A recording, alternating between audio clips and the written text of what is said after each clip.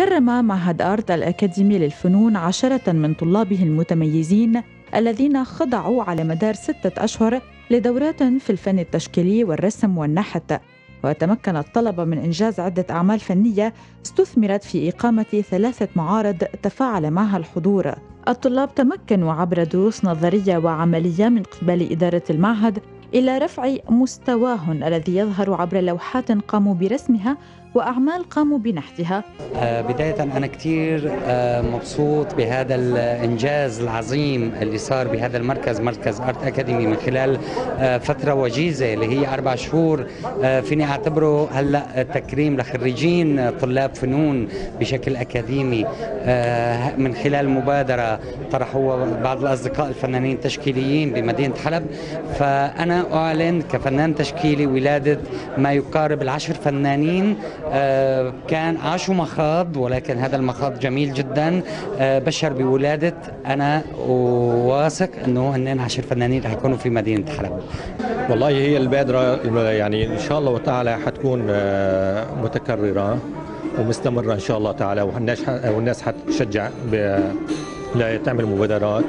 وحلب ولادة وبالفن وبالثقافة وبكل شيء هي موجودة. فنحن أنا مبادرتي إن شاء الله تعالى تكون آه، قدم خير على حلب وعلى جميع الموجودين هون من الناس من التجار من الكبار المسؤولين من أي شيء. يدعموا هالشباب هالجيل الجديد. أنا جاي دعم للتظاهرة الثقافية المتعلقة بالرسم من خلال الاستاذ زياد مرشحة. ولذلك وجودي هو دعم للطلاب من خلال علاقتهم بالمركز الفني ومحمد زيدان والأستاذ مرشحه أه طبعا آه، المبادرة هي عبارة عن نثر رياحين وبذور جديدة لأغناء الوسط الفني العطش في مدينة حلب. آه، الشيء الظاهر المعروف إنه الأزمة اللي مرينا فيها كانت كثير صعبة وأحد جوانبها إنه نحن صار في عنا حالة من الضعف أو الهشاشة النفسية الداخلية اللي بحاجة لأنه نرجع نشوف فيها أنوار جديدة آه، أول شيء التكريم اليوم كثير شيء عظيم. آه، شعور التكريم كثير حلو بالنسبة مو بس للطلاب آه، بأن اليوم كمان أنا عم بتكرم.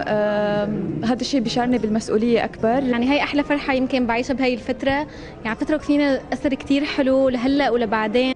وقدمت دروع وشهادات للمكرمين إضافة لوجود موسيقى تخت شرقي أضفت طابعا جميلا على هذا العمل.